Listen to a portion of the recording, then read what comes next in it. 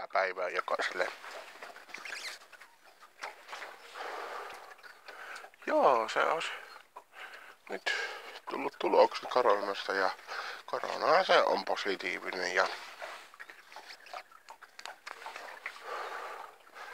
ja, ja täällä ei, ei niin paljon enää ahista henkeä, mitä eilen. Tuossa aamulla vähän ahdistuslääkettä ja se syke oli jo vähän kohdalla tikkaa, kun kävi eilen tikkamällä, niin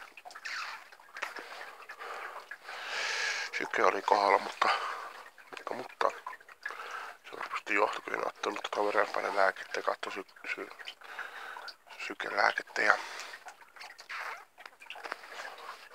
tänne otin ja tällä